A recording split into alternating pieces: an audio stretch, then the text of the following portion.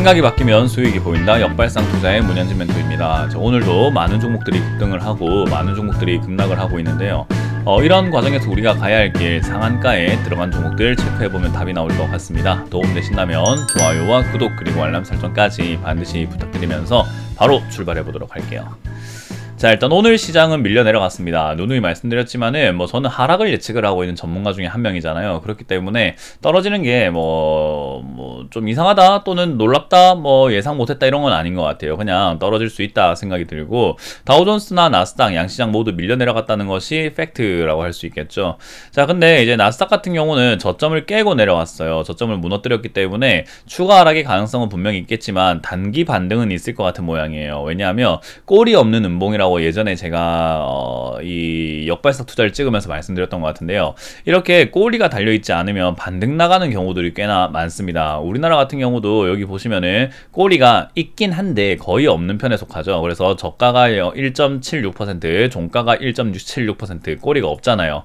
그래서 약 약간 꼬리가 있어 보이긴 하나 없는 이런 상태가 다음날 반등이 나가는 경우들이 꽤나 많습니다. 단기 반등이라고 하죠. 그래서 저렇게 되는 경우들이 많아서 이번에도 여기도 앞에도 있죠. 여기도 꼬리가 없이 떨어졌다가 꼬리를 위쪽으로 반등이 나가는 거 보이잖아요.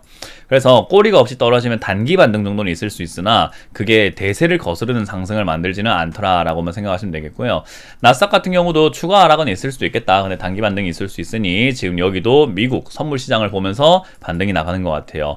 아마 여기까지 떨어졌다라는 것은 이제 2600포인트 테스트가 진행이 되었다라고 보시면 되겠는데 2600포인트가 무너지면은 추가랑 나오는 건 어쩔 수가 없는 부분일 거예요. 뭐 차트 그림으로만 본다면 이렇게 고점이 낮아지면서 서서히 밀리는 그런 모양새가 나오고 있는데요. 제 생각에는 단기 반등 조금 주고 밀리지 않을까 밀린다 하더라도 그냥 뺄 것 같진 않고 단기 반등 한번 주고 내려갈 것 같다 생각이 듭니다.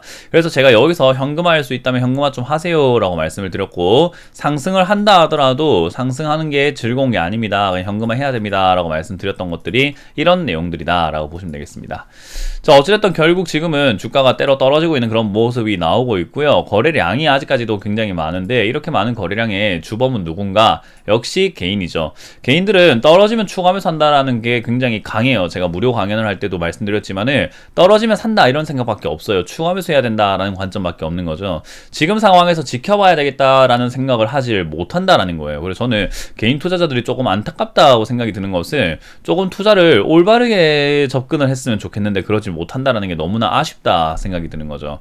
그래서 지금은 사실 매수의 관점이라기보다는 관망의 관점이다라고 보는 게 맞고요. 이왕이면은 수익 나고 있는 것들은 매도하시는 것이 가장 좋지 않나. 뭐 물론 지금 시장에서 수익 나기가 굉장히 어렵기 때문에 매도할 종목은 거의 없다라고 생각하시면 좋을 것 같습니다. 결국 매도는 못하니까 결국 가지고 가는 것만이 정답이다라고 할 수 있겠죠. 자 그런 과정에서 일단 시장 전체적인 모습을 보니까 또 품절주가 급등 나오거나 또 별로 좋아 보이는 종목이 급등 나오지는 않았어요. 에너지 관련주들이 약간 급등 나오고 상한가 들어간 게 보여지고요.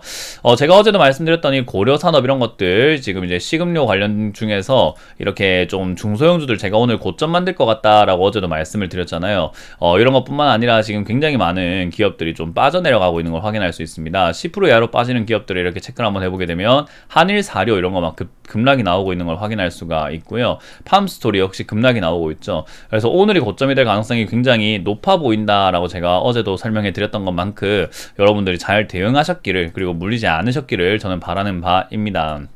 뭐 신기하죠 이렇게 어, 제가 말해놓고도 여러분들 신기할 것 같다 생각이 드는데 어찌 보면 굉장히 당연한 거예요. 이렇게 너무 급등하다 보면은 이상한 잡주까지 급등이 올라오고 너무 오바스럽게 올라오면은 거기가 끝인 경우들이 굉장히 많아요. 그래서 이거는 어찌 보면 경험과 어, 약간 이렇게 분석을 통해서 여러분들도 충분히 다음에 시간이 어, 지나간다면은 알 수 있는 내용이 됩니다. 그래서 어디까지 올라갈까가 막 궁금한데 보통은 어, 이런 게 올라오다 보면은 고점, 고지가 이제 거의 눈앞에 와 있을 때 더 이상 못 가고 이렇게 빠져버리 는 경우들이 너무나 허다해요.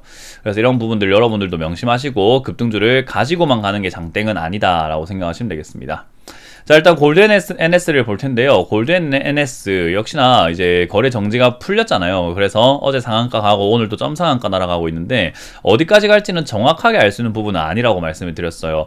이것도 8, 9천 원 정도까지는 급등이 나올 수는 있을 것 같긴 한데 그 이상까지는 저도 뭐 확답을 드리거나 확실히 뭔가 말씀을 드리기는 조금 힘들 것 같아요. 그래서 이거는 신규 매매는 거의 불가능한 거고 일단 들고 계시는 분들이 탈출이라도 제대로 할 수 있는 가격까지는 올라갔으면 좋겠다. 왜냐하면 과거에 비싸게 샀다가 물려 있는 분들이 많기 때문에 많이 올라와줘야 탈출이 된단 말이에요. 그래서 어, 이왕이면 이렇게 올라오는 김에 좀 많이 올라와가지고 어, 탈출할 수 있는 기회가 생겼으면 좋겠다 생각이 들고 그건 물려 물려 있는 사람들의 입장인 거지 올라왔을 때 사는 입장에서는 물려 있는 사람들은 탈출했지만 뒤에 사는 사람들 당하는 거죠. 그래서 이런 거는 뭐 물려 있는 사람들은 탈출하길 바라는 바지만 이 종목을 이제 신규 배수하려고 하는 사람들은 제발 하지 마라 라고 할 수밖에 없는 입장인 것 같아요.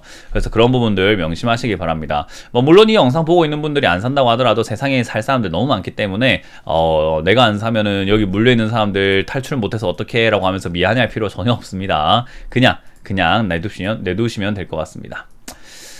자 일단 GSE 오늘 급등이 나왔어요. GSE 같은 경우는 예전부터 도시가스, CNG 뭐 이런 것들 충, 충전소 운영하고 충전 관련 기업으로 올라오는데 실적이 그렇게 나쁜 건 아니고요. 에너지 관련주다 보니까 최근에 들어서 역시나 러시아 가스 공급 중단 사태가 있다라고 하니까 가스 관련주가 이렇게 급등이 나옵니다. 차트를 본다 하더라도 여러분들이 다 아시겠지만 내려갔다 올라갔다 하면서 계속해서 반복하면서 흔들리는 걸 확인할 수 있잖아요. 그래서 이렇게 흔들리고 있는 모습이기 때문에 사실은 이거는 급 급등이다, 상승세다라고 할 수는 없고요. 그냥 흔들고 있다라고만 이해하시면 좋아요. 그럼 여기서 흔드는 이유는 몇 가지가 있을 것 같은데 물량을 뺏기 위해서 흔든다라는 것은 여기서 사가지고 또 끌어올린다라고 해석을 해봐야 되는데 그런 바보가 있을 것 같지는 않아요. 세력들이 그렇게 멍청하진 않거든요. 그래서 여기서 흔드는 건 아래쪽에 샀던 것들을 팔아내기 위해서 흔든다라고 보는 것이 좀 더 합리적인 거죠. 그래서 이거는 좀 매수를 하지 않는 것이 제일 좋고 들고 있는 분들은 어, 빠르게 이제는 오늘 상승을 통해서 매도하시는 것을 추천드려 보도록 하겠습니다. 하겠습니다. 대성에너지도 마찬가지의 구간인 것 같아요. 흔들고 있는 과정 속에서 GSE는 위쪽에서 흔들고 있다면은 얘는 이렇게 약간 밀려서 흔들고 있지만 힘이 그만큼 딸린다는 거예요. 그래서 GSE가 추가 상승이 조금 가능한다 하더라도 얘는 상승이 조금은 힘들 것 같죠. 그래서 이것도 14,000원, 15,000원대에서는 정리하는 것을 목표로 잡고 대응하시는 것을 추천드려 보도록 합니다. 자 그렇게 보니까 에너지 관련주가 중앙에너비스, SNH 에너지화학, 한국서, 어, 흥구석유, 극동유화 등등 뭐 인천 도시가스도 있고요. 대성산업, 어, 경동 도시가스 이렇게 어, 가스 관련주가 많이 올라왔는데요. 약간 이것도 일시적일 것 같아요. 그래서 여러분들이 너무 급, 어, 관심을 가지시는 것보다는 사실 가스 관련주는 그냥 보내는 게 맞지 않을까 생각이 들고요. 역시 고려산업이라던가 마니커 이런 것들 잡았다가 괜히 물리신 분들이 있다면 저도 드릴 말씀이 없어요. 이거는 역발상 투자를 꾸준히 보셨다면 제가 사지 마라 경고도 했고 오늘이 고점이 될 것 같다라고도 말씀 많이 드렸던 부분이라서 어, 이 부분은 제가 드릴 말씀이 없는 것 같습니다. 뭐 물론 전에 말씀드렸지만 어제도 말씀드렸던 것 같아요. 어, 이게 올라왔다가 빠질 거는 같으나 이게 끝날 것 같진 않다. 식량 관련주가 계속해서 이어지긴 한다. 그래서 도시가스 관련주들도 급등 나왔다가 뺐다가 막 흔들다가 다시 급등 나오고 하잖아요. 얘들도 뺐다가 이렇게 막 흔들다가 급등은 다시 나올 수는 있어가지고 물려 계셨다라고 하면은 어, 너무 실망은 하지 마시고 뭐 여러분들께서 좀 탈출하는 것을 목표로 어 조금 추가 매수는 절대 하지 않으시는 것을 추천드려 보도록 하고 탈출하는 걸 목표로 좀 시간 투자를 한번 해보자 라는 조언을 드려 보도록 하겠습니다. 자 이렇게 오늘 맞춰보도록 하고요. 다들 뭐 힘든 장인데 뭐 힘들 것도 사실은 없잖아요. 계속해서 떨어질 건 예상하고 있었고 관망만 했으면 힘들 게 하나도 없는데 관망하지 않았다면 힘든 장세지 않을까. 그래서 여러분들이 뭘 했냐에 따라서 누구는 힘들고 누구는 조금 안 힘든 그런 장세라서 어, 여러분들의 선택에 따라서 갈리는 장세다. 그래서 내가 무엇을 선택했느냐를 다시 한번 돌이켜보는 하루가 되셨으면 좋겠습니다 자 어쨌든 2600 무너지는지 무너지지 않는지 같이 한번 체크 한번 해보도록 하고요. 오늘은 마무리 지어보도록 하겠습니다. 지금까지 역발상 투자의 문현진 멘트였습니다. 고맙습니다